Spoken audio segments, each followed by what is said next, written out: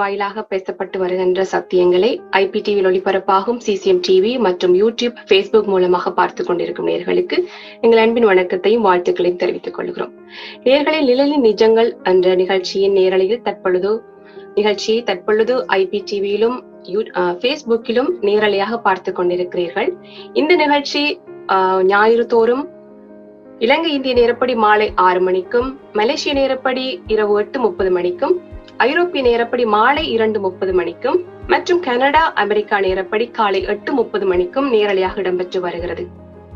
இந்த நிகழ்ச்சியில் நிழலின் நிஜங்களின் ஆய்வின் புத்தகமாகிய கிறிஸ்துவின் உடன்படிக்கை புது உடன்படிக்கை என்ற புத்தகத்தை குறித்து நாங்கள் கடந்த ஐந்து வாரங்களாக கலந்து ஆலோசித்து வருகிறோம். அந்த வகையில் முதல் நாளாகிய அந்த பகுதி உலக தோற்றத்துக்கு முன்பான அனாதி தீர்மானம் மற்றும் இரண்டாவதாக பூமியை ஆளுதல் உலகத்தை ஜெயித்தல் என்ற இரண்டாவது பகுதியையும் மூன்றாவது பகுதியாகிய குணமாக்கப்பட்ட ஆத்துமாக்கள் என்ற பகுதியும் நான்காம் நாளாகிய நமக்குள் இருக்கும் பொக்கிஷமும் இரகசியமும் என்ற அந்த பகுதியும் ஐந்தாம் நாளாகிய நித்திய அஹ், ஜீவன் அல்லது நித்திய ரட்சிப்பு என்ற பகுதியும் குறித்து நாங்கள் பார்த்தோம்.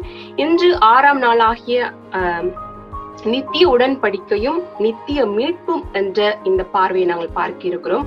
அதாவது கிறிஸ்துவின் உடன்படிக்கை புது உடன் கிறிஸ்துவின் உடன்படிக்கையாகிய புது உடன்படிக்கை அல்லது இரண்டாம் உடன்படிக்கையாய் உடன்படிக்கை நித்திய உடன்படிக்கை அல்லது நித்திய மீட்பாக கடவுளால் அனாதியில் தீர்மானிக்கப்பட்டு திட்டமிடப்பட்டவை என்ற பார்வை இதில் உள்ளடக்கப்பட்டிருக்கிறது. அது மாத்திரமல்லாமல் இந்த பகுதிக்குள் இயேசுவின் இரத்தத்தினாலான நித்திய உடன்படிக்கை மற்றும் மன்னிப்பு இருதயத்துக்குள் எழுதப்பட்ட நித்திய உடன்படிக்கை நித்திய சுதந்திரம் மற்றும் பரிசுத்த ஸ்தலம் மற்றும் சியோனி நித்திய ஆளுகை என்பன என்பன உள்ளடக்கப்பட்டிருக்கிறது. இந்த புத்தகத்தை குறித்து நீங்கள் வாசிக்க ஆர்வமும் விருப்பமும் உள்ளவர்கள் சிசிஎம் மீடியா டாட் நெட் என்ற இணையதளத்துக்கு சென்று அங்கு இ புக்காக இந்த புத்தகம் கொடுக்கப்பட்டிருக்கிறது. அங்கு சென்று நீங்கள் மேலதிக விளக்கங்களை வாசித்து அறிந்து கொள்ள முடியும் என்பதை இந்த இடத்தில் நாங்கள் அஹ், அறியத் தருகிறோம். அந்த வகையில் கிறிஸ்துவன் உடன்படிக்கை நித்திய உடன்படிக்கை நித்திய மீட்பு என்ற இந்த நாலாவது பகுதியை நாங்கள் ஆறாவது பகுதி ஆறாம் நாளாகி இந்த பகுதியை நாங்கள் பார்க்க இருக்கிறோம். அதாவது இது ஏதோ தற்செயலாக நடந்த காரியம் அல்ல. கடவுள் அவருடைய பாதுகாப்பு அதாவது ஆத்தும பாதுகாப்பாகிய அல்லது மீட்பாகிய நித்திய உடன்படிக்கையை நாம் புரிந்து கொண்டு அதை விசுவாசிப்பதற்காக பல பாடங்கள் திஷ்டாந்தங்களாக முதலாம் உடன்படிக்கை விசுவாசிகளுக்கு கற்பிக்கப்பட்டிருக்கிறது. நாம் வாசித்து அறிந்து கொள்ள முடியும். அதைத்தான் நாங்கள் இன்றைக்கு ஆஹ், சகோதர சகோதரிகளாக நாங்கள் கலந்து ஆலோசிக்க இருக்கிறோம். இது உங்களுக்கு மிகவும் பிரயோஜனமாக இருக்கும் என்று கருத்தில் கொண்டு நாங்கள் ஒவ்வொருவரும் இதை பேச இருக்கிறோம். உம். பிரணேஷ் அண்ணா வணக்கம் அண்ணா நீங்க சொல்லுங்க. ஓகே இந்த நம்ம இன்னைக்கு நித்திய உடன்படிக்கை நித்திய மீட்பு இதை குறிச்சு நம்ம இன்னைக்கு பார்க்க போறோம். இத இதை குறிச்சு உங்களுடைய கருத்து என்னன்னா நீங்க சொல்லுங்க. வணக்கம் சகோதரி. வணக்கம் சிசிஎம் தொலைக்காட்சி நேர்களே. உங்களை ஆத்மரட்சகர் இயேசு கிறிஸ்து அன்பின் நாமத்தில் வாழ்த்து வர இருக்கிறோம் அன்பு சகோதரர் ரமேஷ் அவர்களையும் சகோதரி பானு அவர்களையும் சகோதரி சாந்தி அவர்களையும் சகோதரர் பால் அவர்களையும் வாழ்த்தி வரவேற்கிறோம். நாங்க இந்த புதிய உடன்படிக்கை என்கிற இந்த ஒரு புத்தகத்தை குறித்து பேசிக்கொண்டு வருகிறோம். இந்த புதிய உடன்படிக்கை புத்தகம் என்பது ஆஹ் எங்களுடைய இணையதளத்தில் பதிவேற்றம் செய்யப்பட்டிருக்கிறது. இதை குறித்து நாங்கள் இது நிழலின் நிஜங்கள் என்ற வாயிலாக பேசி வருகிறோம். அப்போ நிழல் எது அப்படின்னா எது நிழல் எது நிஜம் அப்படின்னா நிஜம் வந்து கிறிஸ்து தான் நிஜம். அப்போ இந்த புதிய உடன்படிக்கைன்றது இதுதான் நிஜம். இந்த பழைய உடன்படிக்கை எல்லாமே இந்த நிழலாக சொல்லப்பட்டது எல்லாமே புதிய உடன்படிக்கை. ஆத்மரட்சகர் வந்து அவருக்காக அவருக்காக சொல்லப்பட்டதுதான் அந்த பழைய உடன்படிக்கை எல்லாம். தீர்க்க தரிசனங்கள் ஆனாலும் சரி தீர்க்க எல்லாமே வந்து அவரை குறித்து தான் சாட்சி சொல்லுது. நியாய பிரமாணங்கள் ஆனாலும் தீர்க்க தரிசனம் அவரை குறித்து தான் அந்த நிஜத்தை குறித்து தான் சாட்சி சொல்றதுக்காக இதுதான் வேதத்தினுடைய அடிப்படை சத்தியமே.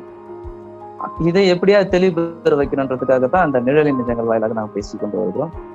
ஏன் ஏழு கட்டங்களை நாங்கள் வச்சிருக்கோம்னா முதலாம் நாள் வானத்தையும் பூமியும் சிருஷ்டித்தார். அப்படி ஏ- ஏழு நாட்கள் வந்து பார்த்தீங்கன்னா எப்படி பரிபூரணத்திற்குள் ஒரு முழுமைக்குள்ள வருதோ அது போல ஏழு கட்டங்களாக இந்த புதிய உடன்படிக்கையை வரையறுத்து வைத்திருக்கிறோம் இந்த புத்தகத்துல.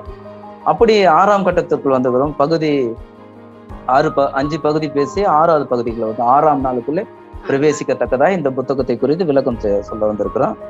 இது வந்து நித்திய உடன்படிக்கை நித்திய ரட்சிப்பு சரி ஓகே. நித்திய உடன்படிக்கை நித்திய ரட்சிப்பு அப்படின்றத வந்து பாத்தீங்கன்னா வேதத்துல இருந்து எல்லாருமே எப்படி சொல்லுவாங்க இது என் ரத்தத்தினாலான புதிய உடன்படிக்கை அப்படின்னு சொல்லிட்டு எல்லா போதகர்களும் சொல்லுவாங்க. காரணம் என்னன்னா எழுத்தின்படி அதான் எழுதியிருக்கு.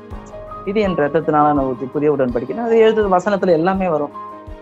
ஆனா இதுதான் இதை பத்தி அந்த எழுத்தின்படி இருக்கிறது அப்படியே சுய தோற்றத்தோடு போதிக்கிறது தான் பெரிய அது வந்து பார்த்தீங்கன்னா மனிதர்கள் வந்து பார்த்தீங்கன்னா அது குழப்பத்துக்குள்ள போயிடுவாங்க. இந்த உடன்படிக்கைகளை பற்றி தெரியாது. பழைய உடன்படிக்கை புதிய உடன்படிக்கை நியாய பிரமாணம் எதுக்கு அது சொல்லப்பட்டுச்சு ஏன் சொல்லப்பட்டுச்சுன்னு தெரியாது போகிறதுக்கு காரணமே இந்த எழுத்தின்படி அப்படியே எடுத்துக்கிறது தான் அந்த பெரிய பிரச்சனை.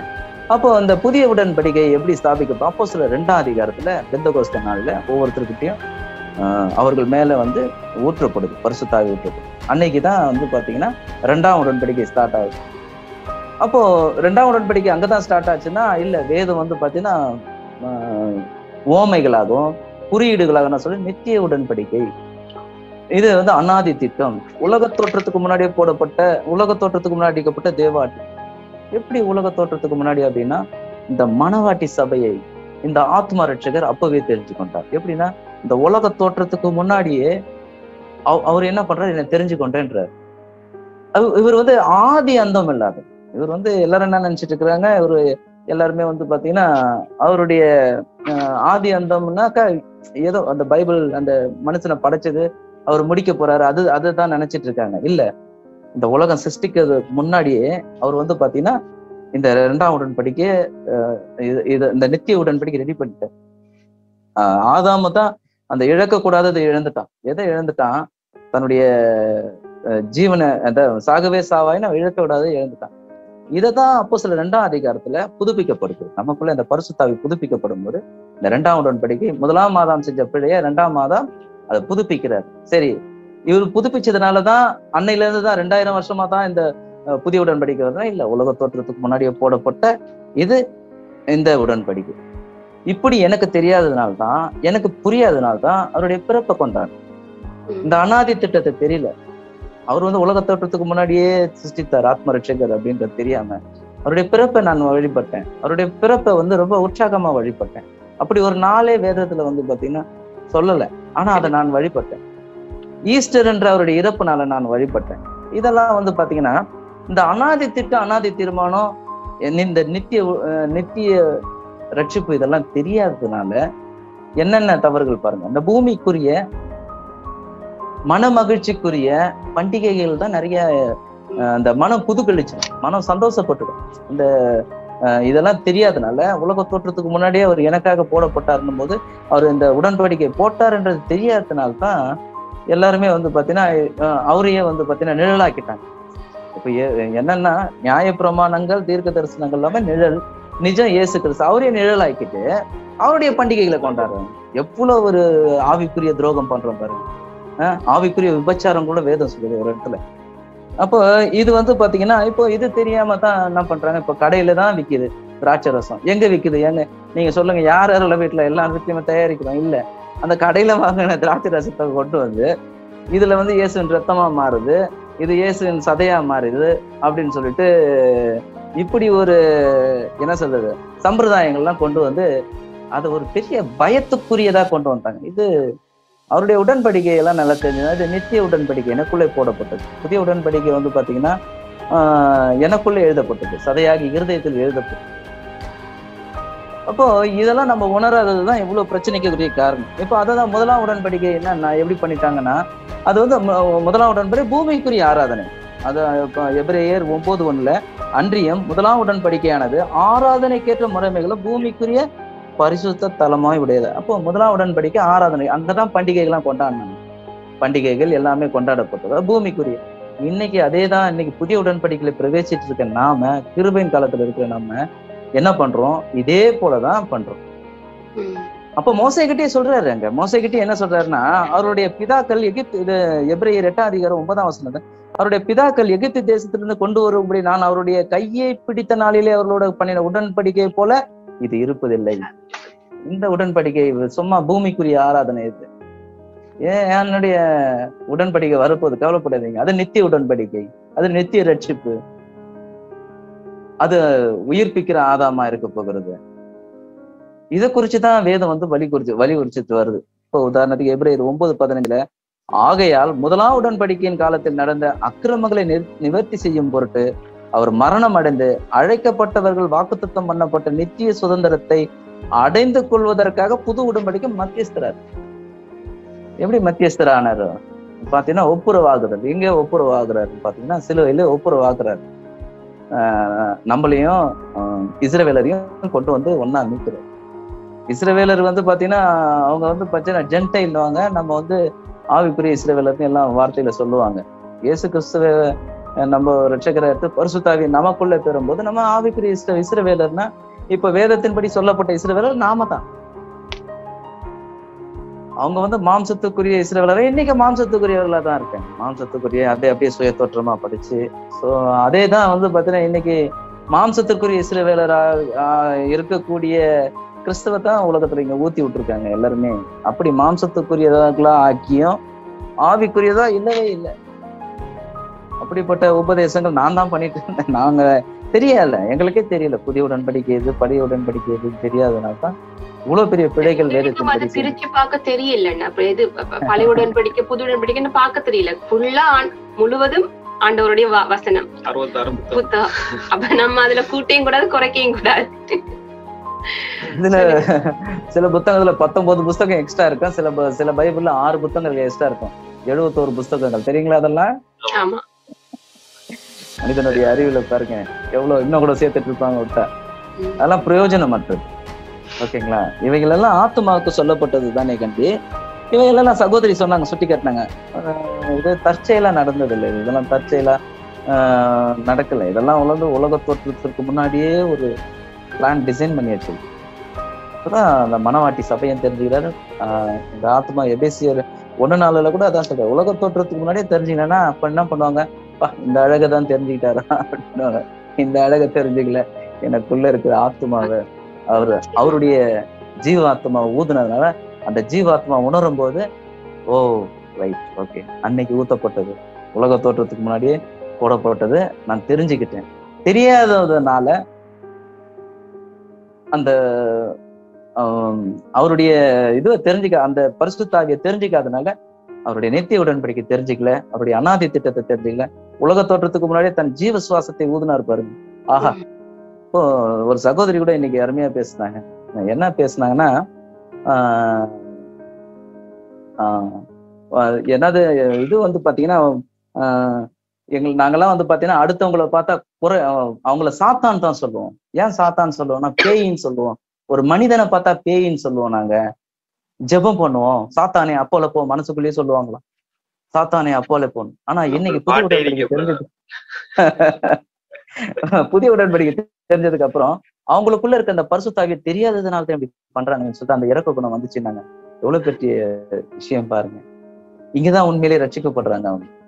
இங்கதான் அவங்க நித்திய மீட்புக்குள்ள போறாங்க அவங்க. எப்படின்னா அவனுக்குள்ளேயும் ஆவி இருக்க தெரிஞ்சுக்கல. கடவுளே இல்லைன்னு சொல்றவங்களுக்குள்ளேயும் கடவுள் கொடுத்த ஜீவாத்மா இருக்கு தெரிஞ்சுக்கல.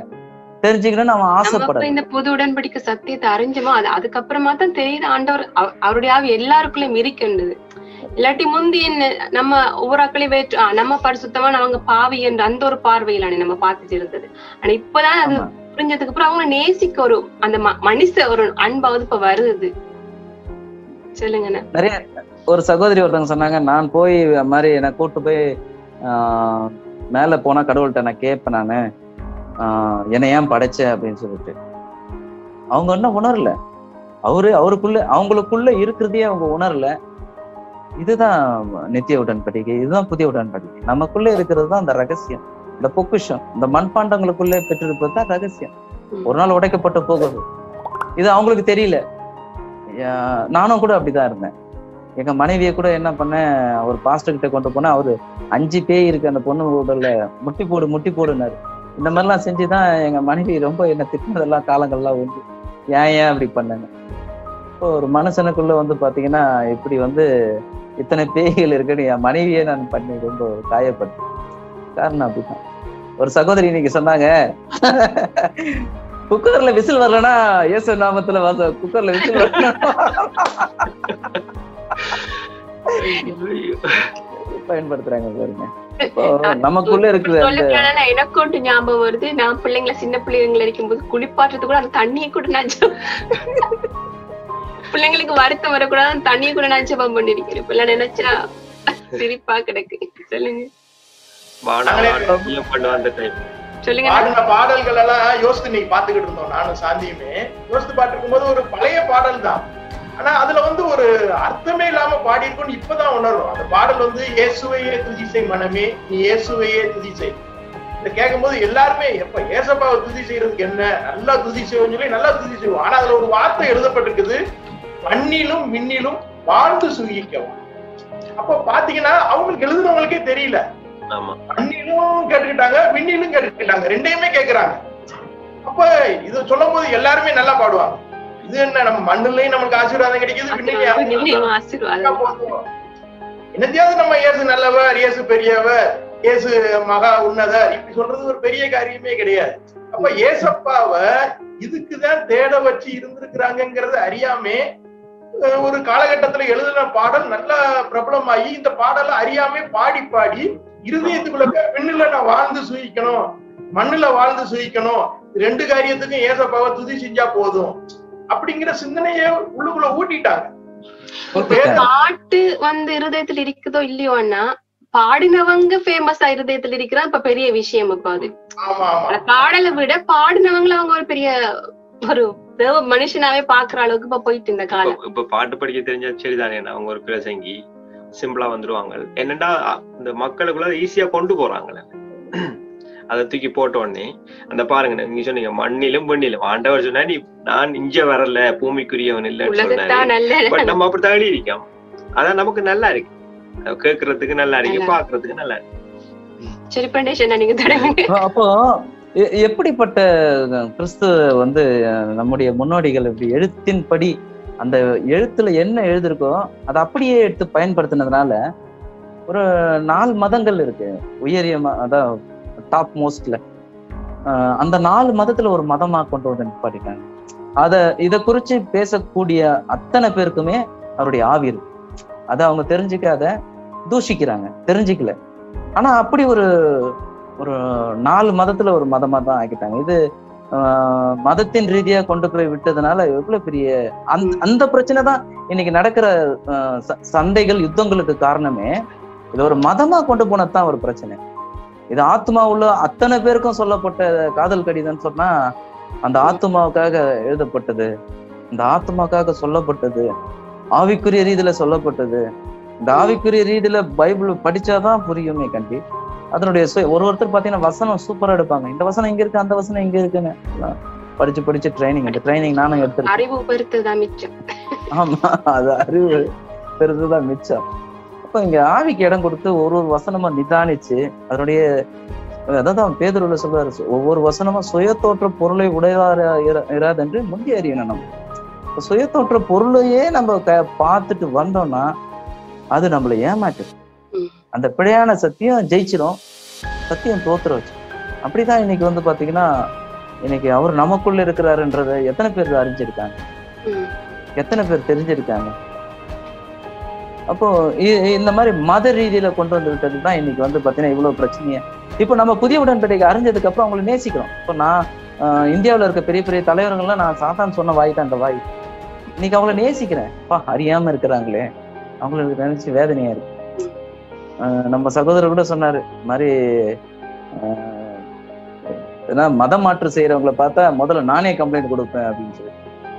உண்மையிலே சொல்றேன் அந்த மாதிரி செய்யறது நம்மளுடைய கிறிஸ்தவத்துல தவறு. காரணம் என்னன்னா தப்பான இயேசுவை தான் போதிச்சு. ஆமா ஏசையால சொல்றாரு சீயோனிலே ரட்சிப்பு என்னுடைய சீயோன் எனக்குள்ளே சீயோனுடைய ஆளுகை இருக்கு. அவர் எனக்குள்ளே ராஜாவா ஆட்சி செய்யறாருன்னு இந்த சீயோனுடைய ஆளுகையை சொல்லி சுவிசேஷம் சொல்லக்கூடிய எத்தனை பேர்? இப்படிப்பட்ட சொல்றவங்களுடைய பாதங்கள் தான் அழகா இருக்குன்னு சொல்றாங்க மலை மேல அழகா இருக்குன்னு சமாதானத்தை அறிவிக்க வேண்டிய நம்ம விரோதத்தை தான் நம்ம அறிவிச்சிட்டு இருக்கோம். அந்த நம்மள பார்த்தாலே ஒரு வெறுப்பு வார அளவுக்கு தான் நம்ம கிறிஸ்தவங்க நடந்துட்டு இருக்கோம். முதல் பேர்ட்டே நம்ம சொல்றது என்ன? நீங்க வழிபடுறது தெய்வம் இல்ல. அத சொல்லித்தான் நாங்கள் எங்களோட சுவிசேஷமே ஸ்டார்ட் ஆகுது. அது ஒரு சிலருக்கு அது எடுபடும். எல்லாருக்கும் அதை இது அப்படி சிந்திக்க மாட்டாங்க. சிந்திக்கும் வெரி ஃபியூ தான் அதை யோசிப்பாங்க. அந்த இதை. இப்ப அதே தப்பு. முதல்ல நம்ம சொல்றது தப்பு. நாங்களே விக்கிற ஆராதனைக்குள்ள நீ இருந்தோம் நாங்க தெரியாம பொருளாசையே இருக்கிறோம். விக்கிற ஆராதனை என்ன சொல்லப்பட்டிருக்குது? இந்த மண்ணுக்கு மண்ணுக்கு மண்ட பாட்டிலே மண்ணுக்குரியது விக்கிற ஆராதனை. ஆட்டோமேட்டிக்கா இருக்கு நம்ம. சோ சொல்லுங்க ப்ரோ எல்லாருக்கும் கூப்பிடுறாங்க இப்போ. செயின் செயின் லிங்க் ப்ரேயருக்கு கூப்பிடுறாங்க. அப்புறம் வந்து ஆஹ், இந்த ப்ரேயர் ஜெபமாலைக்கெல்லாம் கூப்பிடுறாங்க. வாங்க தேசத்துக்காக ஜெபிக்கும் கொரோனா விரட்டுவோம் அப்படியெல்லாம் சொல்றாங்க. அந்த ஜெபமாலையெல்லாம் கூட கூட வந்து பாத்தீங்கன்னா உலகத்துல உண்டானது. ஆனா தேவனுடைய ஆவி கிறிஸ்துவின் ஆவி ஆத்ம ரட்சகர் அது வந்து உலகத்துல இருந்து கொடுக்கப்படல. இந்த உலகத்துல இருந்து அது எங் அவர் கொடுத்தாரு திருப்பி அவர்கிட்ட கொடுத்து. அதுதான் வந்து பாத்தீங்கன்னா அதை விலையேற பெற்றதுதான் திருப்பி கொண்டு போய் இது அழியாமைக்குள்ளே பிரவேசிக்க போகணும் நான் ஒரு நாள் மண்ணிலிருந்து எடுக்கப்பட்டேன். நான் ஆதாம். நானும் ஆதாம் தான்.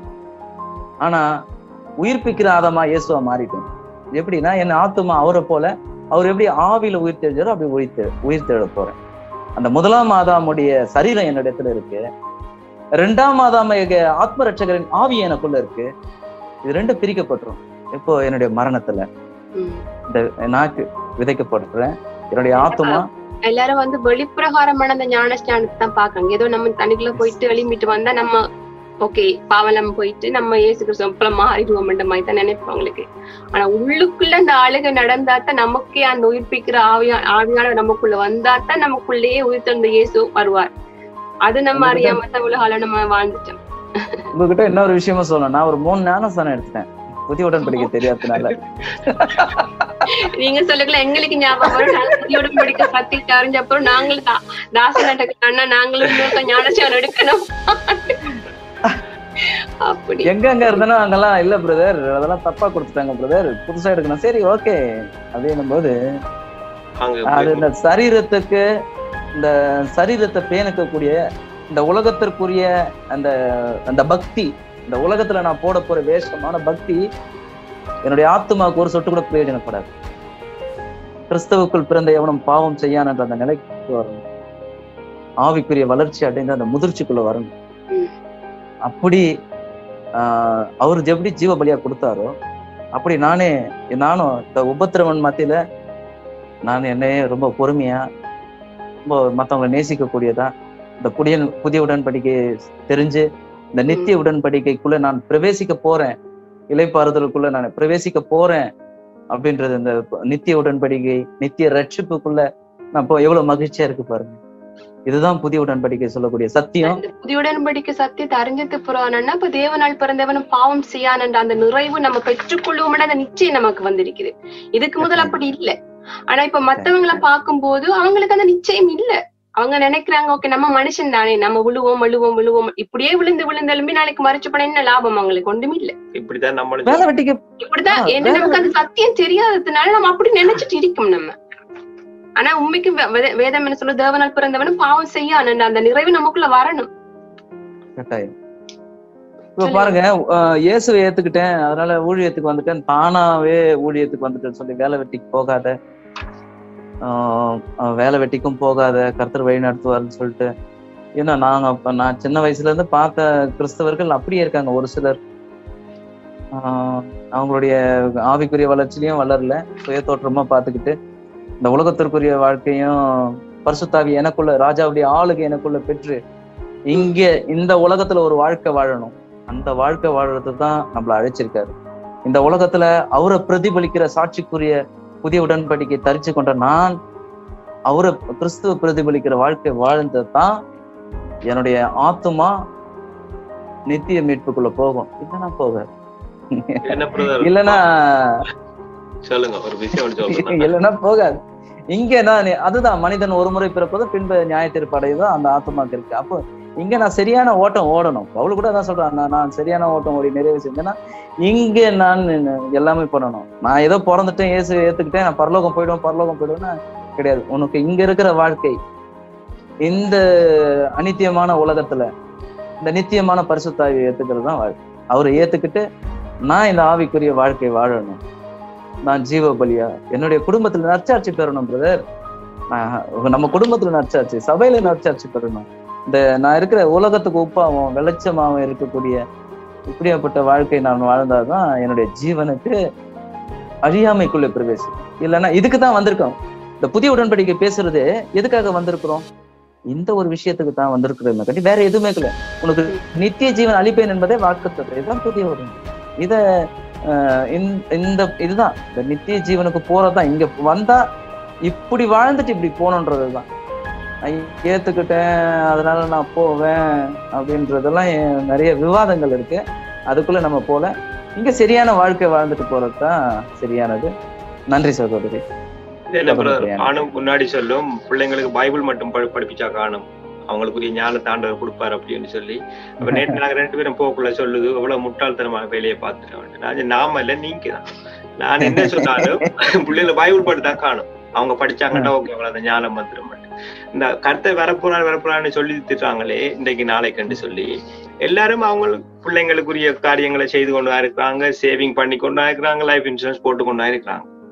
எல்லாத்தையும் செய்துட்டு தான் இன்னும் வர போறாரு நாளைக்கு வர போறாரு பின்ன வர போறாரு இப்படி சொல்லிட்டு திரிகிறாங்க மற்றாக்கள் முட்டாள்தனம் முட்டாள் ஆகிட்டு அப்ப ஒரு சிலர் வந்து உண்மையாகவே அந்த பக்தி வைராக்கியத்துல இதுகளை பற்றி கேர் பண்ணாம இருக்கிறாங்க இருக்கிறாங்க. நாங்கெல்லாம் சில எவ்வளவு முட்டாள்தன சில விஷயங்களை பார்த்திருக்கோம் நான் சொல்லிட்டு வந்தேன் நேற்றுமா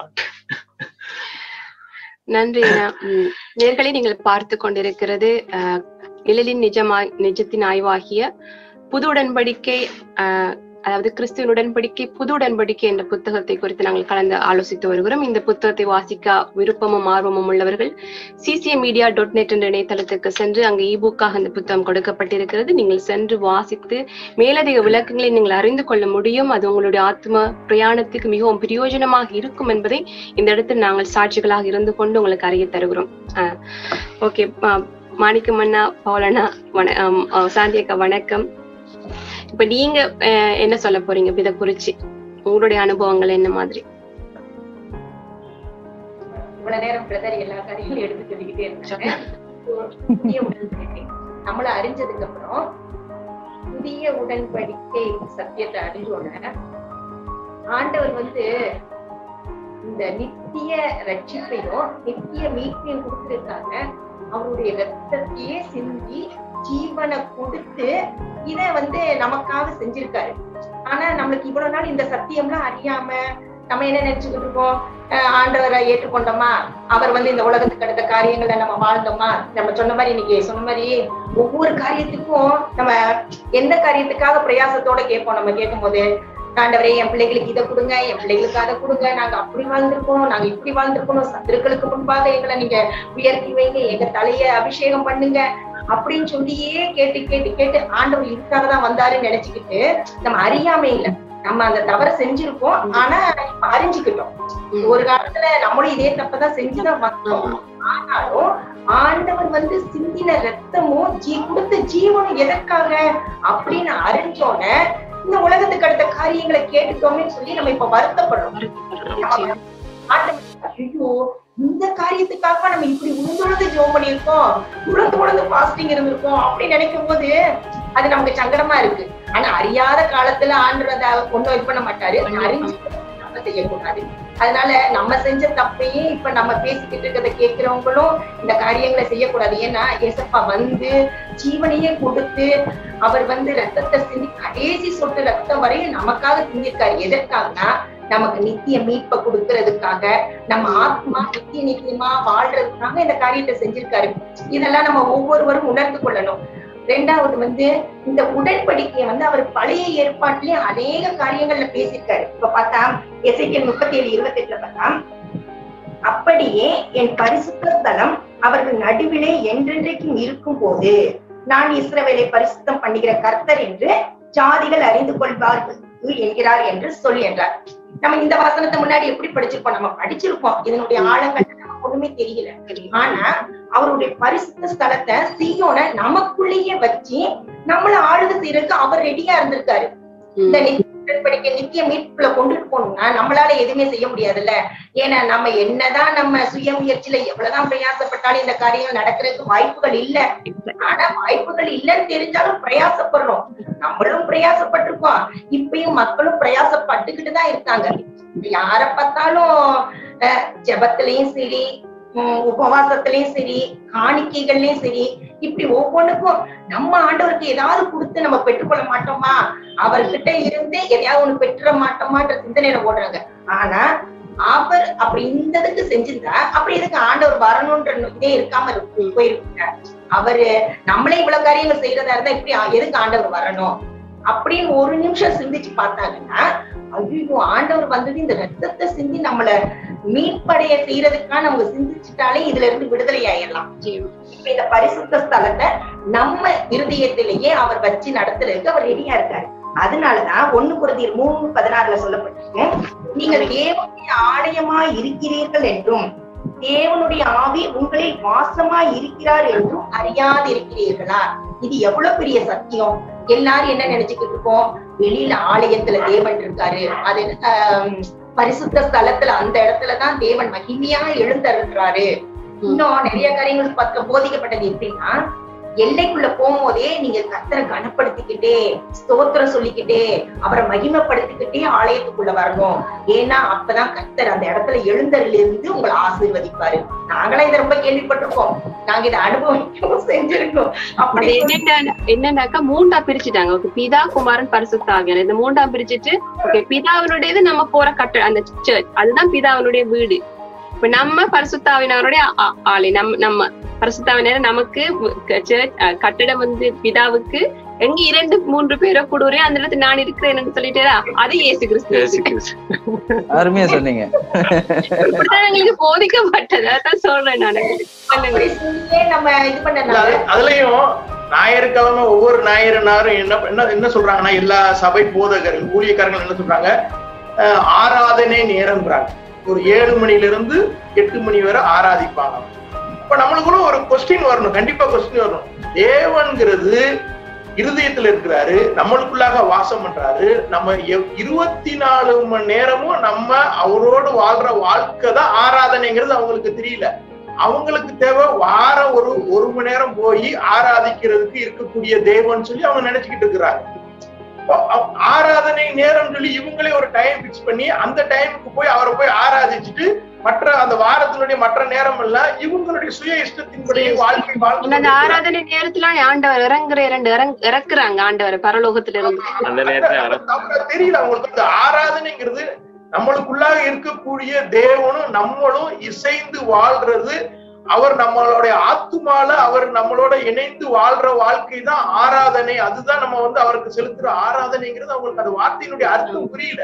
இவங்க போர்டு போட்டு எழுதி வச்சிருக்கிறதுனால ஆராதனை வேலை காலை ஆராதனை ஏழு மணியில இருந்து ஒன்பது மணி வரை மாலை ஆராதனை ஐந்து மணி முதல் ஏழு மணி வரை. இப்ப இதுதான் ஆராதனைன்னு போல அவங்க வந்து ஏற்கனவே விட்டு வந்து என்னென்ன காரியத்துல இருந்து விட்டு வந்திருக்கிறாங்களோ அதே மாதிரி ஒரு காரியத்தை செய்யறதுக்கு பெருமளவு தூண்டப்பட்டு அவங்கள வழிநடத்தி வர்றது இந்த சபையினுடைய போதகராய் இருக்கிறவங்க ஊழியக்காரங்க. சோ இது வந்து நம்ம இது வந்து இப்ப எடுத்து சொல்லும் பொழுது ஆராதனைங்கிறது நம்ம அந்த பூமியில இருக்கிற நாட்கள் மட்டும் நம்ம ஜீவனோட இருக்கிற நாட்கள் மட்டும் நம்ம இருதயத்துல ஆராதிக்கப்படத்தக்கவர் நம்மளுடைய ஆண்டவராகிய இயேசு கிறிஸ்து. அவர் நமக்குள்ள இருக்கிறாரு வாசம் பண்றாரு. அப்படிங்கிற உணர்வு வந்துருச்சுனாலே அவங்களுக்குள்ள இருக்கிற எல்லா பயமும் போயிரும். ரொம்ப சந்தோஷமா இருப்பாங்க. இப்ப நாங்க இந்த புதிய உடன்படிக்கை சத்தியத்தை அறியறதுக்கு முன்னாடி வரை பாத்தீங்கன்னா இருபத்தி நாலு மணி நேரம் பேய் பிசாசு அது இருபத்தி நாலு நேரம் அதை குறிச்ச போதுலயே பயங்கரமா இருக்கும். என்னைக்கு வந்து இந்த புதிய உடன்பை சத்தியத்தை அறிஞ்சுக்கிட்டோமோ இந்த இப்ப வந்து உள்ள இருக்கிறவரை குறிச்ச ஞானம் வந்துருச்சு அறிவு வந்துடணும்னா இப்ப வந்து அது சிந்தனையே கிடையாது. ஆமா. பரவாயில்ல என்ன சொல்லுவாங்கன்னா நைட்டு பன்னெண்டு மணிக்கு எந்திரிச்சுதான் அந்த பேயை இவர் வரட்டும்னு பேய்க்கு என்ன டைம் இல்ல அது மட்டும் இல்ல அந்த அமாவாசை வெள்ளிக்கிழமை அந்த நாள்ல நம்ம நிறைய ஜெபம் பண்ணணும்.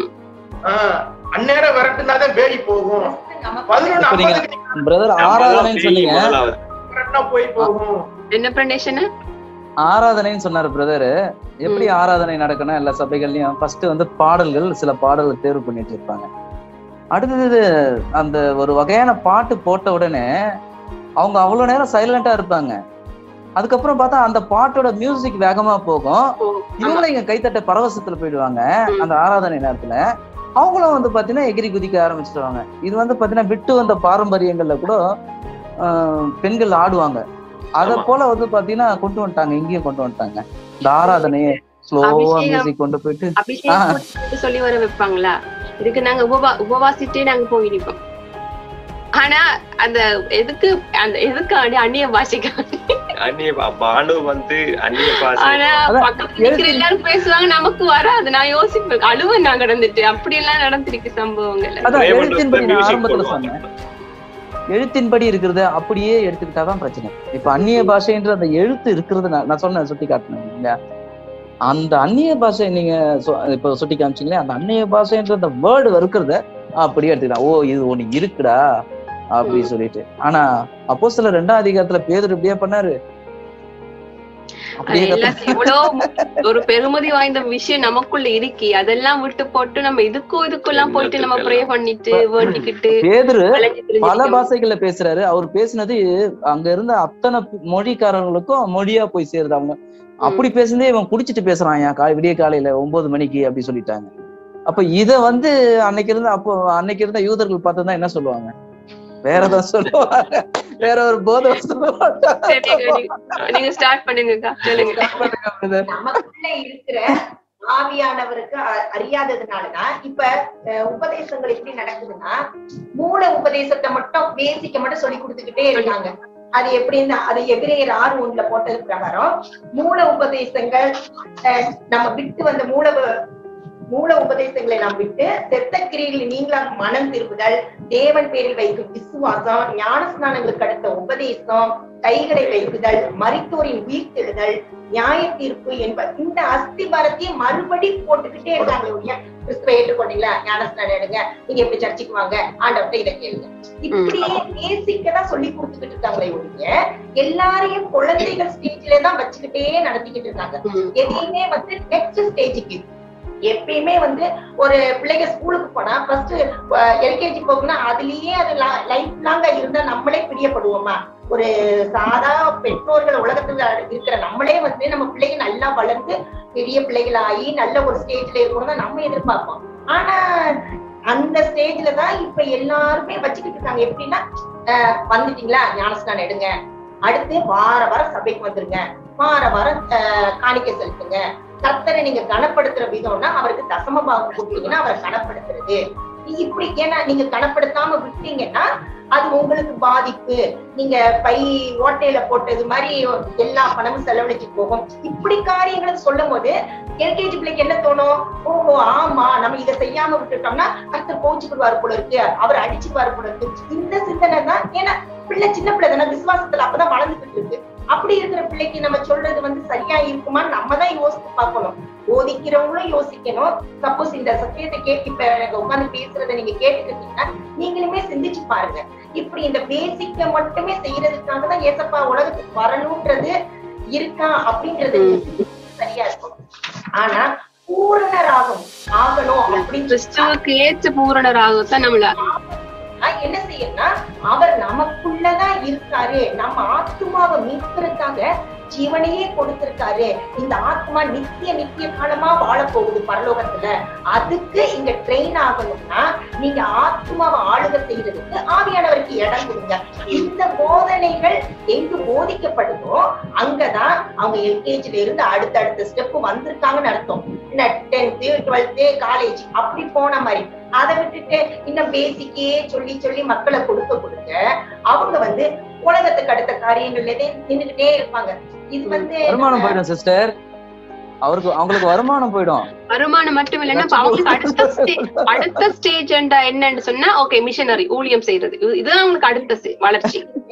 நிறையாவது வருமானம் போறதுன்றது வந்து நான் இப்ப ஒரு ரெண்டு மூணு பேருக்கு பேசினேன். அவங்க பேசும்போது தசம பாகம்ன்றது வந்து வேதத்துல இல்லவே இல்ல sister. நியாயப்பிரமாண கிரியக்காரராக அவனு சாபத்துக்கு உட்பட்டிருக்காருன்னு தான் போட்டிருக்கு. ஆனா வந்து நம்ம இதை அறியாம கலாத்தியர் மூணு பத்திரம் அவ்வளவு தெளிவா போட்டிருக்கு. ஏன்னா நியாயப்பிரமாணத்துக்கு ஏசப்ப முடிவா இருக்காரு.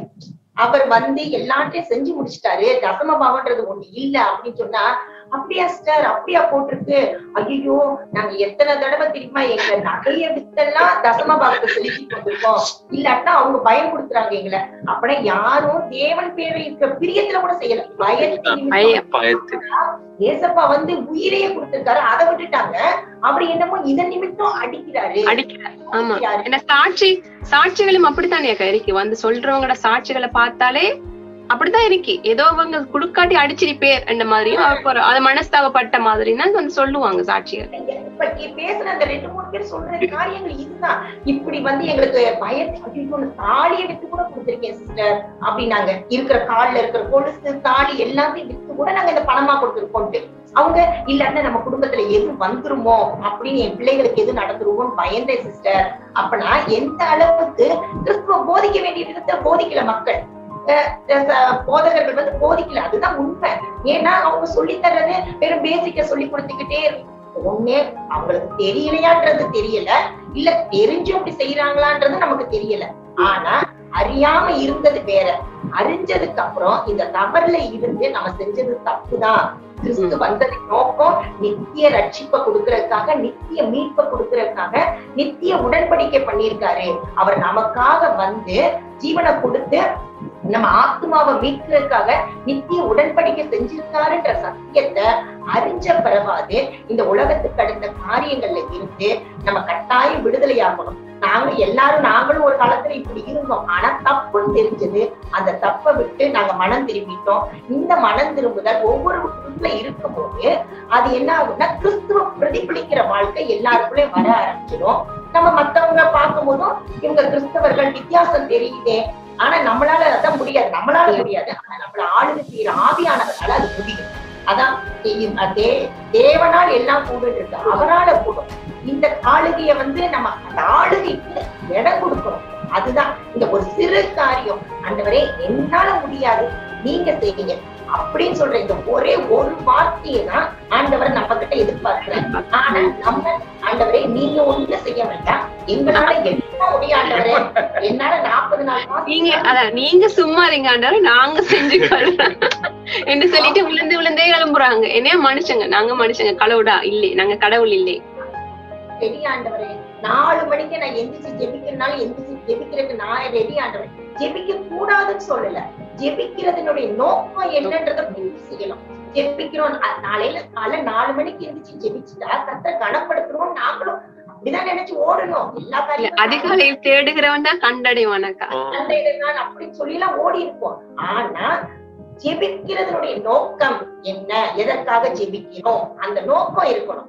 அந்த காரியங்கள் நம்ம செயல்பட்டோம்னா அது நம்ம ஆத்மாவுக்கு பிரயோஜனமாகும். ஆண்டவர் இவ்வளவு பெரிய காரியத்தை அவர் நம்ம மேல வச்ச அன்பின் நிமித்தம் ஆத்மாவை மீட்கிறதுக்காக ஜீவனையே வந்து கொடுத்திருக்காரு. இந்த அன்பை நம்ம ஒரு நிமிஷம் யோசித்து பார்த்தோம்னா இந்த உலகத்துக்கு அடுத்த காரியங்களுக்காகவே நம்ம ஓடுற ஓட்டத்துக்கு ஒரு முற்றுப்புள்ளி வச்சிருவோம். அப்படி வச்சோம்னா நம்ம நித்தியத்துக்கு அடுத்த காரியங்கள்ல ஓடுறதுக்கு இது ரொம்ப பிரயோஜனமா இருக்கும். இப்ப நம்ம பேசுற காரியங்கள சப்போஸ் கேக்குறவங்க ஒரு நிமிஷம் சிந்திச்சு நீ என்ன பேசுறாங்களே? இவங்க என்ன? நித்திய நித்தியமே பேசிக்கிட்டு இருக்காங்களா. அப்படி இந்த உலகத்துக்கு அடுத்த காரியங்களை இவங்க வாழ மாட்டாங்களா அப்படின்னு யோசிக்கிறது. உலகத்துக்கு அடுத்த காரியங்கள் நம்ம அது ஓட்டத்துக்குரியது ஓடிக்கிட்டே இருக்க வேண்டியதுதான். ஆனா இது நம்மளுக்கு குறிப்பிட்ட வயசு தானே? எழுபதோ எண்பதோ அறுபதோ எவ்வளையோ. இவ்வளவுதான் நம்மளுடைய காலங்கள். அதுக்கப்புறம் ஏதோ ஒரு வாழ்க்கை இருக்குன்றத அறிஞ்சுதான் வந்திருப்பாங்க. ஏசப்ப என் பாவங்களை மன்னிக்கிறதுக்காக வந்தாரு? அப்படின்றதுலதான் எல்லாருமே கிறிஸ்துவை ஏற்றுக்கொண்டு வந்திருப்பாங்க. முத கான்செப்ட் அப்படிதான் யோசிப்பாங்க. அவர் என் பாவங்கள் எல்லாம் மன்னிச்சிருக்காரு. அப்புறம் எனக்கு பதில் அவர் அதை செஞ்சு முடிச்சிட்டாரு. அந்த ஒண்ண விசுவாசிக்கிறாங்க. ஆனா அடுத்ததை விசுவாசிக்கணும். இப்படி அவர் அடுத்த காரியங்களும் என்னன்னு சொல்லிட்டு ஒவ்வொருத்தரும் அறிஞ்சிட்டாங்கன்னா அந்த பூரண புருஷராகிறதுக்கு இது ஒரு வாய்ப்புகளா இருக்கும். அதுக்கு முக்கியமா இந்த வேதம் கொடுக்கப்பட்டது ஆத்மாவுக்காக தான் அப்படின்ற சிந்தனையோட நம்ம படிக்கும் போதுதான் இந்த ஆத்ம ரட்சகர் கொடுத்த மீட்புனாலும் சரி விடுதலைனாலும் சரி எல்லாத்தையும் நம்ம பெற்றுக்கொள்ளலாம். மத்தபடி நம்ம உலகத்துக்கு அடுத்த காரியங்களுக்காக இந்த வேதத்தை படிச்சோம்னா நம்மளுக்கு வாக்கு தத்தங்கள் எல்லாமே நம்ம இந்த உலகத்துக்கு கொடுத்த வாக்கு தத்தங்கள் மாதிரியே தெரியும். பாக்குறதுக்கு இப்படி கொடுத்திருக்காரு. ஆண்டவர் நம்மள கட்டாயம் மேன்மையா வச்சு நடத்துவாரு. மத்தவங்கள பார்த்து நம்ம மேன்மையா இருப்போம் அப்படின்ற சிந்தனை ஓடிக்கிட்டே இருக்கும். நானா முன்னாடி நேரமோ இந்த இப்படி ஜோம் பண்ண இப்படிலாம் செஞ்சுக்கிட்டு இருக்கும்போது நான் நினைப்பேன் ஆண்டவரே நான் விழுந்து விழுந்து ஜோம் பண்றேன். ஆனா என் பிள்ளை இருக்கிறத காட்டும் விழுந்து விழுந்து ஜோம் பண்ணாதான் ஒரு நல்ல பிள்ளைய அப்புறம் என் மேல என்ன ஆண்டவரே மிஸ்டேக் இதனால என் பிள்ளை இப்படி இருக்கிறத காட்டும் இன்னுமே செய்யாம கதை பேசிட்டு இருக்காங்க அப்படி இருக்காங்க ஆனா அவங்க நல்லா படிக்கிறாங்களே ஆண்டவரே அந்த பிள்ளைங்க படிக்கணும் என்னுடைய சிந்தனை அப்படி இருந்தது. அப்படின்னு உலக அப்பனா என் சிந்தனை எல்லாம் என் உலகத்துக்காக என் பிள்ளைக்காக ஜோம் பண்ணி கொடுத்துருக்கேன் இது என்னுடைய என் பிள்ளை படிக்க வேண்டியது என் பிள்ளையுடைய காரியம். ஆனா நான் அதை விட்டுட்டு அவளுக்காக நான் ஜோம் பண்றேன் ஜோம் பண்றேன்னு சொல்றது சரியான காரியம். அப்பனா என் சிந்தனை எப்படி ஆயிடுது? அடுத்தவங்களை குறிச்சு நோக்குறதுக்கு போயிடும். உலகத்துக்காகவே பார்த்தா நம்ம சிந்தனைகள் அப்படி போயிருது அதே இது நம்ம ஆத்மாவுக்காக பார்த்தா அடுத்தவங்க சப்போஸ் எந்த காரியங்களும் ஈடுபடாம இருந்தா நம்ம என்ன நினைப்போம்? ஐயோ அந்த ஆத்மா வெளியேற பெற்றதுன்னு தெரியாம அவங்க வாட்ட ஓடிக்கிட்டு இருக்காங்களே. ஐயோ இந்த ஆத்மாவும் பரலோகத்துக்கு குறித்த ஆத்மாவே. இந்த உலகத்துல இது குறிப்பிட்ட காலங்கள் வாழ்றது வாழ்றது தானே. இவங்க புரிஞ்சுக்கிடாம இருக்காங்களே. அப்படி சிந்தனை தான் இப்ப வருது. ஆனா மத்த நேரம் அப்படி இல்ல. முன்னாடி இருக்கும்போது இந்த காரியங்கள் அப்படி வராது. அவங்க ஐயோ நம்ம இப்படி செய்யறோம். என்னமோ நம்ம பர்ஃபெக்ட் மாதிரியும் அவங்க பர்ஃபெக்ட் இல்லாத மாதிரியும் நம்மளோட சிந்தனைக்குள்ள இதெல்லாம் வந்து இதெல்லாம் மாறணும்னா நம்ம ஆண்டவர் எதற்கு வந்தாருன்ற சத்தியத்தை நம்ம அறிஞ்சுக்கிடணும். அவர் நித்திய உடன்படிக்கை எதற்காக பண்ணினாருன்றத நம்ம அறிஞ்சுக்கணும். நித்திய மீட்பு நம்ம ஆத்மாவுக்கு கொடுக்கறதுக்காக வந்தாருன்ற சத்தியத்தை நம்ம அறிஞ்சுக்கிட்டாலே இந்த உலகத்துக்கு அடுத்த காரியங்கள்ல இருந்து நம்மளுக்கு விடுதலை வந்துடும் முக்கியமா ஆத்மா விடுதலையோட வாழும் இந்த உலகத்துல. தேவையில்லாத பயம் வராது. கிறிஸ்துவ குறிச்ச ஒரு பயம்ன்றதே இருக்காது. அவருடைய அன்பு நம்மளுக்கு ஊற்றப்பட்டிருக்கும் அவர் இவ்வளவு காரியங்கள் செஞ்சிருக்காருன்ற சிந்தனை நமக்குள்ள அதிகமா பெறுவோம் இந்த காரியங்கள் தான் மக்களுக்குள்ள போக வேண்டிய சத்தியங்கள். இந்த இந்த சத்தியம் தான் உண்மையா இந்த ஒரு கிறிஸ்து வந்ததனுடைய நோக்கத்தை அறிவிக்கிற இந்த சத்தியம் வந்து மக்களுக்குள்ள போகும்போது முக்கியமா அவங்க வாழ்ற இந்த உலகத்துல விடுதலையோட வாழலாம். சந்தோஷமா வாழலாம். கிறிஸ்து அருள் அதனாலதான் சமாதானத்தை வைத்து போகிறேன் அப்படின்னு கிறிஸ்து சொன்ன அந்த சமாதானம் அவங்க ஆத்துமால ஆளுகை செய்யும். அந்த சமாதானத்தோட வாழ உலகத்துல எல்லாம் நடக்கும். அதுக்காக நம்மளுக்கு பாடுகள் வராது. உடனே இவங்க இப்படி சொல்லிக்கிட்டு இருக்காங்களே அப்படின்னா ஆத்மாவை ஆளுகை செய்ய வச்சோட உருப்பாடு வராது போல இருக்கு. அப்படி எல்லாம் வந்தாலும் கிறிஸ்து அருளுகிற சமாதானம் நம்மளுக்குள்ள நிலைச்சிருக்கு. ஏன்னா ஆளுகை செய்யறது ஆவியானவர் இல்ல. அவருடைய கண்ட்ரோலுக்குள்ள நம்ம இருக்கும்போது அது இதா இருக்கும். இதுதான் வந்து மக்கள் அறிஞ்சிக்கிட வேண்டிய ஒரு காரியங்கள். இதற்கு வந்து நம்ம ஆத்மாவை குறிச்ச தாகத்தோட நம்ம வேதத்தை படிக்கும் போது இது ஆத்மாவுக்கு எழுதப்பட்ட மொழின்றத அறிஞ்சிக்கலாம் சகோதரி ஜெபத்தை பத்தி சாந்தி சிஸ்டர் நல்லா சொன்னீங்க. வேதத்தின்படி ஜபத்தை ஜெபத்தை வந்து எப்படி எடுத்துக்கிட்டோம்னா இயேசு ஜெபிக்கிற விதமாவது அதை அப்படியே மனப்பாடம் பண்ணிட்டாங்க. அவர் வந்து என்ன சொன்னாரு? நீங்க ஜெபிக்கிற ஆனா அவர் எப்படி ஜெபிச்சாருன்றது யாராலையும் சொல்ல முடியாது. இல்ல? என்னன்னு சொல்லுவாங்கன்னா அவர் வந்து அதிகாலையில எழும்பி போய் இருந்து ஜெபிச்சாரு. மற்றது இடைவிடாமல் ஜெபிக்க வர சொல்லிக்க விழித்திருந்து ஜெபிக்க வர சொல்லிருக்க இந்த அந்தந்த எண்ணத்துக்கு சொல்லிருக்கேன்னு தெரியாமலுக்கு அதை அதை எடுத்து வச்சுட்டு சூழ்நிலைகளை மாத்துறதுக்கு இப்ப நம்ம ஜெபம் brother? சூழ்நிலைகளுக்குள்ளால போக்குள்ளதான் இப்ப பவுலப்பஸ்தரே அதில் அனுபவிச்சுடையதான் அவர் சொல்றேன் என்னை பலப்படுத்துகிற கிறிஸ்துவால எல்லாம் செய்ய எனக்கு பலன் உண்டுன்னு சொல்றேன் அவர் அதுக்கு முந்தி எவ்வளவு சொல்லிட்டு வந்து சொல்லிட்டு வருவார். அதெல்லாம் நம்ம விட்டுருவோம். இப்ப நம்ம சூழ்நிலைகளை மாத்துறதுக்காக நம்ம ஜெபம் பண்ணிட்டு வரோம். சொல்லுங்க. சகோதரி சொன்னது போல எழுத்தின்படி இருக்கிறது அப்படியே எடுக்கிறது தான் நடுவுல இருந்து ஒரு வார்த்தையை எடுத்து எடுத்து படிச்சு கரெக்டாங்க இப்ப ஒன்றோட தொடர்ந்து பார்க்கக்குள்ளதான் நமக்கு தெரியுது. ஒரு வருஷத்தை எடுத்து நம்ம அதுக்குள்ள அர்த்தம் தேட போனோம்னா நம்ம நிச்சயமா நம்ம என்ன சொல்றது உலகமா தான் நம்ம பார்ப்போம் உலகத்துக்காக தான் நம்ம பார்ப்போம் ஆனா அப்படி எல்லாத்தையும் எடுத்து கலெக்ட் பண்ணி நம்ம சேர்த்து படிக்கக்குள்ள நமக்கு உண்மையான அந்த விளக்கமே நமக்கு வர- வரும். பவுல் சொல்றாரு. எழுதுன போதிக்காம என்ன செஞ்சிடுறாங்கன்னா வேதத்தை எப்படி படிக்கிறதுலாம் சொல்றது கிடையாது. அது என்ன நோக்கம்லாம் சொல்லி கொடுக்கறது இல்ல. நடுவுல இருந்து இந்த வசனங்களை நீங்க சங்கீதம் படிங்க நீங்க நீதிமொழிகள் படிங்க அதுல இருக்கிற அந்த இந்த கருத்துக்களை மட்டும் மக்கள் உள்வாங்கிக்கிடுவாங்க. அப்படியே படிக்க சொல்றதுனால வேதம்னா என்னன்னே சொல்லி கொடுக்காமயே மக்களை இது பண்றதுனாலதான் இந்த பிரச்சனைகள் வர்றதுக்கு காரணம். ஆனா வந்து போதிக்கிறது வந்து கரெக்டா இந்த வேதம் எதற்காக கொடுக்கப்பட்டது ஏன் கொடுக்கப்பட்டது அதனுடைய நோக்கம் என்ன அப்படின்ற இந்த சத்தியத்தை சொல்லி கொடுத்து போதிச்சாங்கன்னா அது போதிக்கிறது நிமித்தம் மக்கள் கேட்கிற மக்களுக்கும் பிரயோஜனமா இருக்கும் இந்த சத்தியங்கள். அதான் சகோதரி இப்ப பாருங்க பவுல் கூட ஒரு இடத்துல சொல்றாரு நான் எழுதுனதையே திருப்பி எழுதுறது எனக்கு ஒரு மாதிரி நீங்க வசனத்தை படிச்சு இப்ப எழுதுனதே திரும்பி எழுது. இப்படி ஆனா எனக்கு தெரிஞ்ச ஒரு போதகர்லாம் அறுபது வருஷமா பிரசங்கம் பண்றாரு. இந்த வசனத்தை சகோதரி சொன்ன மாதிரி இங்க ஒண்ணு அங்க ஒண்ணு எடுத்து இப்படி பிரசங்கம் பண்றதுனால அவர் இன்னும் ஐம்பது வருஷம் இன்னும் ஒரு ஐம்பது வருஷம் கூட பண்ணலாம். ஆனா பவுல் வந்து அவர் எழுதின நிருபத்திலே சொல்லிட்டாரு. இதுக்கு மேல ஒண்ணும் இல்லப்பா எழுதுறதே நான் திருப்பி திருப்பி எழுதுறது காரணம்னா உங்களுக்குள்ளே பரிசுத்தாவி பெறுதான் உங்களுக்குள்ளே ஆளுகை பெறுதான் இதுக்கு மேல அவங்க வந்து பாத்தீங்கன்னா வேதத்துல மறைபொருளாவே சொல்லிட்டு வந்துட்டாங்க. இதை நம்ம பெற வேண்டியதை பெறணுன்றதுக்காக தான் சொன்னாங்க. ஐம்பது வருஷமா பிரசங்கம் பண்றாங்க. அவங்களுக்கு இது தோணல. ஆனா பவுல் சொல்றாப்புல அவர் எழுதுனது எழுதுனதே திருப்பி திருப்பி எழுதுறதுக்கு எனக்கு மனசு இல்லப்பா அப்படின்ட்டு. அதை தான் எழுதுறேன் புரிய வைக்கிறாரு. தன்னுடைய உள்ளத்துல இருக்கிறத எப்படியே அது கொண்டு வந்து சேர்க்கணும்னு பாக்குறாரு. சகோதரி சொன்னது கூட அப்படிதான் பிரசங்கம் பண்ணிட்டு இருக்கேன். இங்க ஒண்ணு அங்க ஒண்ணு எடுத்து அதை ஒன்னா கோர்த்து ஒரு பிரசங்கம். சகோதரியோட நேரத்தை எடுத்துக்கிட்டோம். பானு சகோதரி நீங்க பேசுங்க. நேர்களே நீங்கள் பார்த்து கொண்டிருக்கிறது நிழலின் நிஜங்கள் என்ற ஆய்வின் புத்தகமாகிய கிறிஸ்துவின் உடன்படிக்கை புது உடன்படிக்கை என்ற புத்தகத்தை குறித்து நாங்கள் பேசிக் கொண்டு வருகிறோம். இந்த புத்தகத்தை நீங்கள் வாசிக்க விருப்பமும் ஆர்வமும் உள்ளவர்கள் சிசிஎம் மீடியா டாட் நெட் என்ற இடைத்தளத்துக்கு சென்று அங்கு இ புக்காக இந்த புத்தகம் கொடுக்கப்பட்டிருக்கிறது. அங்கு இன்னும் அதிக மேலதிக விளக்கங்கள் அங்கு கொடுக்கப்பட்டிருக்கு நாங்கள் சுருக்கமாக பேசினாலும் அங்கு வா- வசனத்தின் ஆதாரத்தோடு அஹ், அநேக காரியங்கள் உள்ளடக்கப்பட்டிருக்கிறது. நீங்கள் சென்று வாசித்து அறிந்து கொள்ளும்படியாக இந்த இடத்தில் நாங்கள் அறிய தருகிறோம். ஓகே நிறைய விஷயம் நம்ம பேசிட்டு இருந்தோம். அந்த வகையில ஏசாய் ஐம்பத்தி ஒன்று பதினொன்றுல சொல்லப்பட்டிருக்கு. அப்படியே கர்த்தரால் மீட்கப்பட்டவர்கள் ஆனந்த கழிப்புடன் பாடி சியோனுக்கு திரும்பி வருவார்கள். நித்திய மகிழ்ச்சி அவர்கள் தலைமையில் இருக்கும். சந்தோஷமும் மகிழ்ச்சியும் அடைவார்கள். சஞ்சலமும் தவிப்பும் ஆஹ் ஓடி என்று சொல்லிட்டு. இப்ப நம்ம சியோன் என்று சொல்லக்குள்ள நமக்கு இப்பதான் தெரியுது. இப்ப புது உடன்படிக்கை சத்தியத்தை தெரிஞ்சதுக்கு பிறகு நம்ம தான் சியோன் என்றது இந்த சத்தியத்தை அறிஞ்சதுக்கு பிறகு தெரியுது. ஆனா அதுக்கு முதல் சியோன் என்றது ஒரு இஸ்ரேவேல ஒரு இடம். சோ அங்க இது இஸ்ரவேலருக்கு சொல்லப்பட்ட காரியம். இப்படித்தான் நம்ம இந்த இதனுடைய அந்த என்ன சொல்றது பொக்கிஷத்தையே நம்ம அறியாதபடிக்கு நம்ம எங்கேயோ இது நடக்க போற காரியமாக நம்ம பார்த்துட்டு இருந்தோம். ஆனா ஆண்டவர் எவ்வளவு அழகா அந்த கர்த்தரால் மீட்கப்பட்டவர்கள் ம- சியோனுக்கு திரும்பி வருவார்கள் என்று சொல்லி நித்திய மகிழ்ச்சி அவர்கள் தலையின் மேல் இருக்கும் என்று சொல்லி ஆண்டவர் எவ்வளவு அழகா இந்த வசனத்தை சொல்லி வச்சிருக்கேன் மத்தது அஹ், ஐந்து ஆறுல சொல்லும் போது மறக்கப்படாத நித்திய உடன்படிக்கையினால் நாம் கர்த்தரை சேர்த்துக் கொள்வோம். வாருங்கள் என்று சியோனுக்கு நேராய் முகங்களை திருப்பி சியோனுக்கு போகிற வழி எது வந்து விசாரிப்பார்கள்? ஆறுல சொல்லும்போது என் ஜனங்கள் காணாமற் போன ஆடுகள் அவர்களுடைய மேய்ப்பர்கள் அவர்களை சிதற பண்ணி பர்வதங்களில் அலைய விட்டார்கள்.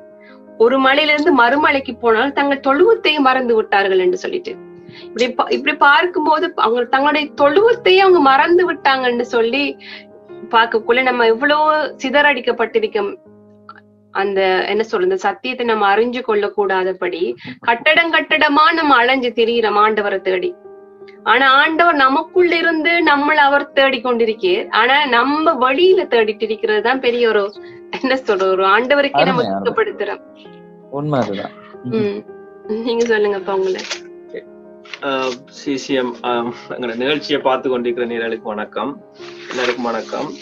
என்கிட்ட ஒரு சிலர் கேட்ட கேள்வியும் என்னன்னு சொன்னால் உங்களுக்கு மட்டும் எப்படி இப்படியான தேடுதல் வந்தது என்று சொல்லி கேட்டாங்க எப்படி தேடுதல் வந்தது என்றால் முதலாவது இந்த வேதத்தை படிக்க பிள்ளைங்களுக்கு வந்த கொஷன் தான். இப்ப நீ எல்லாரும் படத்தை வந்திருக்கோம். எல்லாருக்கும் வந்த அந்த கேள்விதான் நாங்க இந்த இந்த சத்தியத்தை அறிஞ்சு கொள்றதுக்கு உரிய காரணமா இருந்தது. இப்ப அதுக்கு ஒவ்வொருவருக்கும் நீ கலாத்தியரை படிச்சவங்களா இருக்கட்டும் குழந்தையரை படிச்சவங்களா இருக்கட்டும் இந்த குழந்தையர் ரெண்டாம் அதிகாரத்துல ஒன்று குழந்தைய ரெண்டாம் அதிகாரம் பதினோராவது வசனத்துல இருந்து பதினாறாவது வசனத்தை அப்படியே ஃபுல்லா வாய்ச்சமண்டாம் அதுல சொல்லப்பட்ட காரியம் வந்து ஆவிக்குரிய காரியத்தை ஆவிக்குரிய போல நாங்கள் எடுத்துக்கொள்ளணும். மாம்சத்துக்கு ஜென்ம சுபாவமான மனுஷனோ தேவனுடைய ஆவிக்குரியவைகளை ஏற்றுக்கொள்ளான். இப்ப நம்ம இந்த வசனம் சொல்லப்பட்டது நம்மளோட ஆத்துமாக்கு. ஆண்டவர் வந்தது ஆத்துமாக்கு என்றதை நாங்கள் ஏற்றுக்கொண்டால் மாத்திரமே நாங்கள் இந்த சத்தியத்தை நம்ம அறிஞ்சு கொள்ளலாம். அதனாலதான் இன்றைக்கு நம்ம பேசுற விஷயத்தை வச்சுக்கொண்டு நிறைய பேர் சொல்றாங்க அப்படி என்றால் அப்ப நாங்க ப்ரே பண்ணக்கூடாதா? நாங்க வந்து உலகத்துக்குரிய காரியங்களை கேட்க கூடாதா கேளுங்க.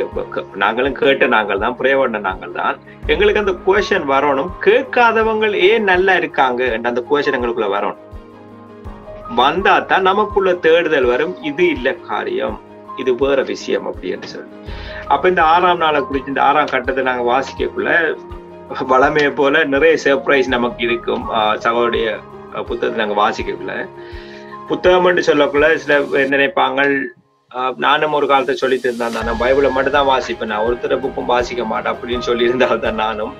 இதுல குறிக்கப்பட்ட காரியம் ஐம்பது வீதத்தை விட மேலாக அந்த வசனம் சொல்லப்பட்டிருக்கு. அந்த வசனத்தை எடுத்து உங்களோட ஆவி நம்மளுக்குள்ள இருக்கிற அந்த ஆவியானவர் உங்களுக்கு போதிப்பார். நீங்க தியானிங்க. ஆத்தும ரட்சிப்போடு ஆத்தும ரட்சகரை நாங்கள் விசுவாசித்து ஆத்துமாக்கு சொல்லப்பட்ட அந்த பயணத்தோடு நம்ம தியானிச்சோம்னு சொன்னா ஆட்டோமேட்டிக்காவே நமக்கு கொஸ்டின் வராது அதுக்கு பிறகு. திருப்தியா எல்லா வசனங்களும் வடிவா வழங்கும் ஆனா முதல் தான் எங்களுக்கு நாங்க படிக்கக்குள்ள நிறைய நிறைய வசனங்களுக்கு அக்கா சொன்னீங்க அண்ணன் சொன்னாரு ஆஹ் பிரணேஷ் சொன்னீங்க? எவ்வளவு வசனங்கள். நாங்க எவ்வளவு தப்பா நாங்க புரிஞ்சிட்டோம் மாம்சத்துல.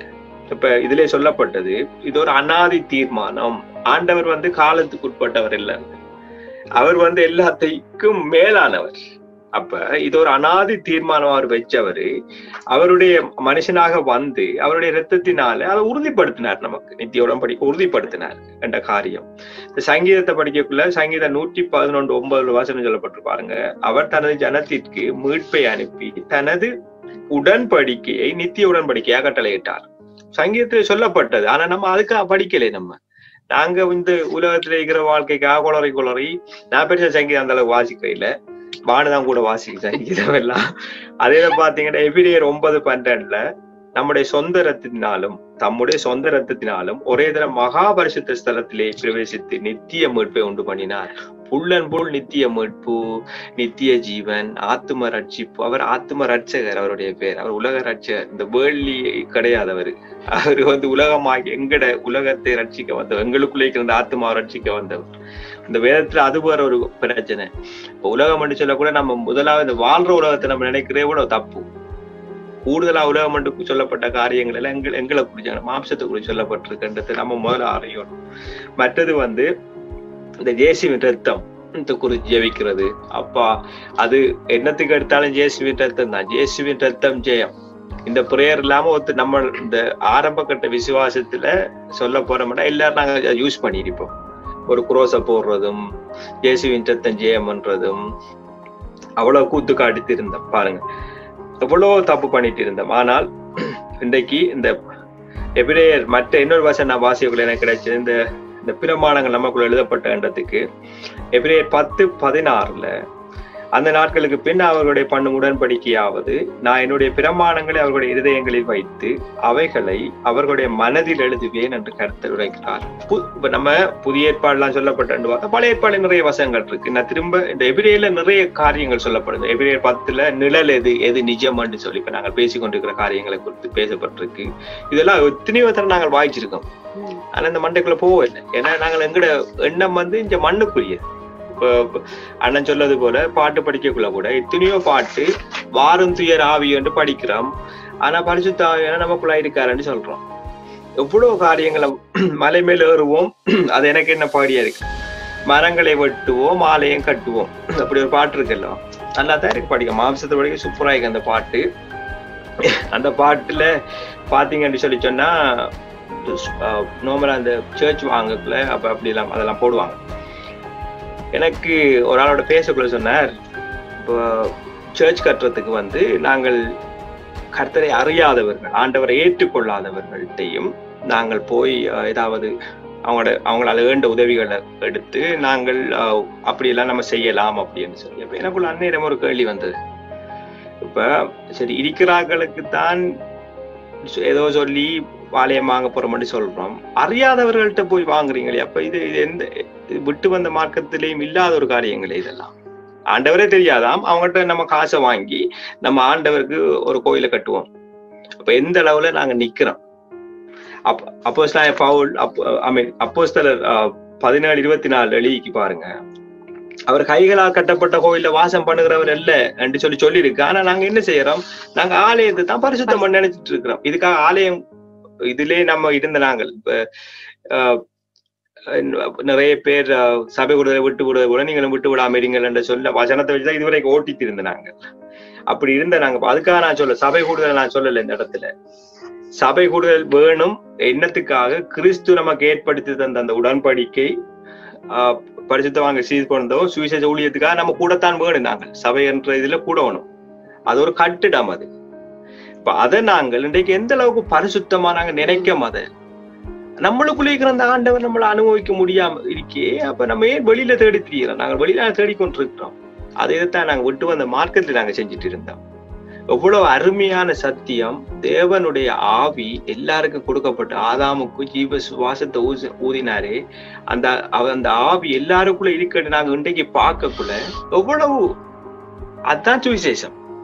இப்ப புதிய உடம்படிக்கைக்காராக்கள் கிறிஸ்து உடம்படிக்கைக்காராக்கள் நீங்க சுவிசேஷம் சொல்ல மாட்டேங்கிறான்னு கேட்கறாங்க சில பேர் நான் சொல் எப்படி சொல்லுவீங்கன்னு கேட்கறான் இதுதான் சுவிசேஷம்.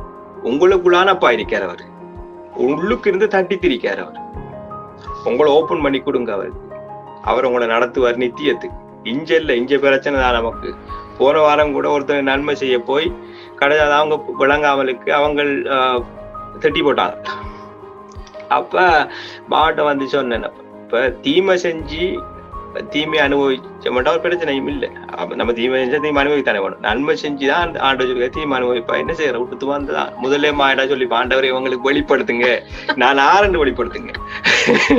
நான் அப்படிலாம் மேனேஜருக்கெல்லாம் ப்ரே பண்ணிக்க போது வெளிப்படுதுங்க ஆரண்டு காட்டுங்க. நீங்க ஆரண்டு காட்டுங்க. இதான் நம்மளோட ஆண்டவர் அப்படி சொல்லி ஒரு கணத்தை அடிச்சா மற்ற கணத்தை கூடன்றாரு.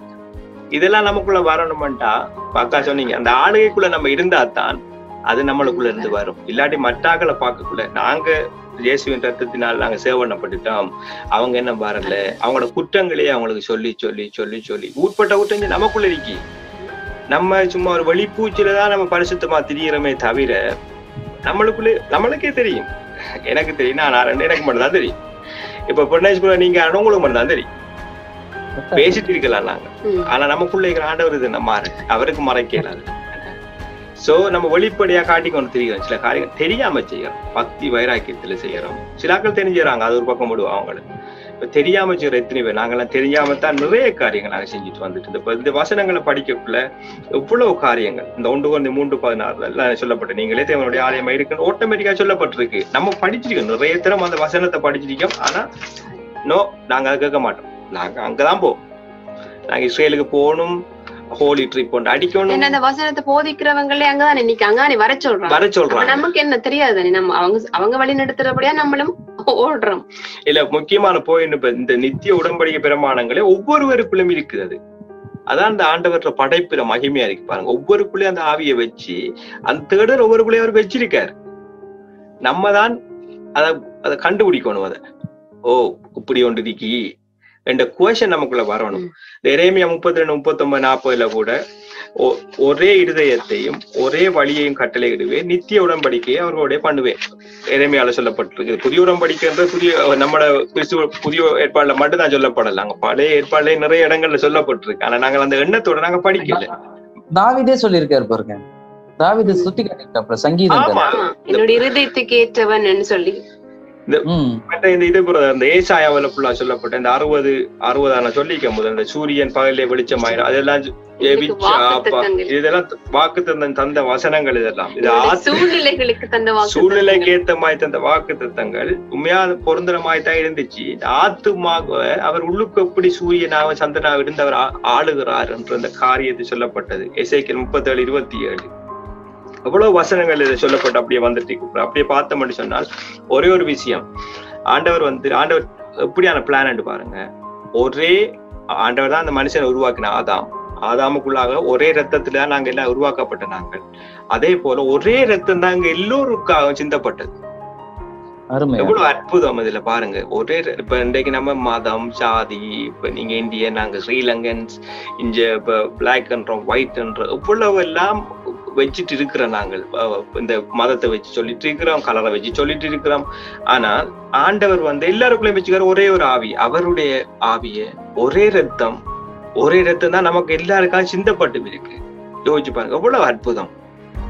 இன்றைக்கு எவ்வளவுக்கு நம்ம சண்டை ஒடிச்சிட்டு இருக்கிறோம் தெரிஞ்சோ தெரியாம நம்ம சொல்றோம் நம்மளோட கல்ச்சரால இப்ப சிலாக்கள் நாங்க பார்க்கல அவங்க அவங்களோட அவங்க ஒரு மாதிரி நம்மளை சரிப்பட்டு வர மாட்டாங்க. அப்படி நினைக்கிறதே தப்பு.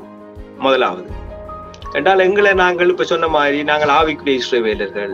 அதான் மற்ற பாக்குறோம் நினைக்கா நீங்க ஏன்டாப்பா இஸ்ரவேல் தெய்வத்தை கும்பிடுறாக்கள் நீங்க சொல்றான் சரிதானே அவங்க பாக்குறாங்க சொல்றதுக்கு ஏன்னா எங்கட வாய் தான் எங்களை வாய் கெடுமண்டமாய் சில வார்த்தைகளை விட்டு சும்மா தேவையில்லாமலுக்கு இதுதான் சுவிசேஷம். இதை சொல்லுவோம். இப்ப நம்ம சரி நம்ம சர்ச் கட்டத்தான் வேணும். கிராமங்களுக்கு சர்ச் கட்டுறோம். ஓகே ஏனென்றால் ஆண்டவர் அறிஞ்ச பிள்ளைகள் இருக்கிறாங்க ஓகே அவங்க எல்லாம் கூடணும். உண்மையா கிறிஸ்து உடம்படிக்கு அறிந்த ஜனங்களை பற்றி நான் பேசிட்டு வரேன். அப்படியா நடத்து கொண்டு வேணும் தான். இல்ல சும்மா நாங்க ஒரு சபையை கட்டிட்டு நாலு பேரை கூப்பிட்டு சாமான கொடுத்துட்டு இங்க வாங்க ஏசப்பாட்ட வந்தீங்கன்னு சொல்லி சொன்னா நீங்க கும்பிடுறது கல் இங்க வாங்க இவர் உண்மையான தேவன். அவங்களுக்கு இதை தருவா தருவான்னு சொல்றதுனால தான் இன்றைக்கு நம்ம மதம் மாத்திரம் அப்படி சொல்லி சொல்றாங்க. உண்மைதானே? அவங்க சொல்றதுல எந்த தப்பும் கிடையாது. நம்ம செஞ்சுட்டு அதே வாரவனுக்கு சுபாவம் மாறுது இல்லை. அதே குணாதிசயத்தை அதை விட வேர்ஸா தான் மாறு இருக்கிறத விட வேர்ஸா மாறுது அவனுடைய குணாதிசயம். முந்தாவது கொஞ்சமாவது அன்பு செலுத்துவான். இப்ப பாக்குறதெல்லாம் பாவிகளாவும் சாத்தான் பேய் மாதிரி தான் பாக்குற மாதிரி வேர்ஸ் ஆக்குறாங்க. அதே போல இப்ப புரணேஷ் பாரு சொன்னீங்க கிறிஸ்துமஸ் கொண்டாடினது ஈஸ்டர் கொண்டா எல்லாம் நாங்க செய்ததுதான். வேதத்துல இல்ல. ஆனா என்ன எங்களுக்குள்ள ஒரு ஆசை நம்ம விட்டு வந்த மார்க்கத்துல எத்தனையோ இருக்கு. ஒன்றையாவது. ஒரு உடுப்பையாவது போட்டு ஒரு ஷார்ட் ஹேண்ட் எடுத்து நம்ம பேஸ்புக்ல போட்டுட்டு தானே. ஃபேமிலி பிக்சர் ஒன்று போடுறதுக்கு நமக்கு ஏதோ ஒன்று வேணும் தானே. கெட் டுகெதர் வேணும். எல்லாத்தையும் ஆண்டவரை கொண்டு நிப்பாட்டிட்டு செய்யற அவ்வளவும். அது என்ன ஆண்டவர் இப்போ ஒரு பர்த்டே பார்ட்டியை செஞ்சுட்டு ஓகே என்ன ஆண்டவரை பாட்டு போடுறாங்களா?